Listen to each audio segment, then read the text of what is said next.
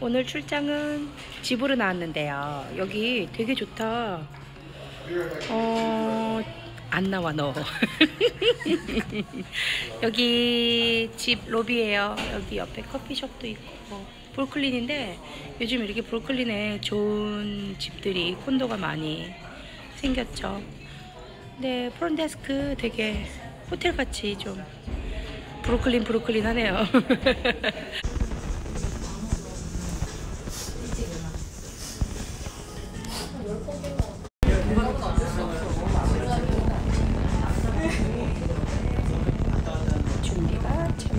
잘하신 분이 오늘 메이크업은 이렇게 해달라고 이렇게 해달라 하십니다 미소도 직접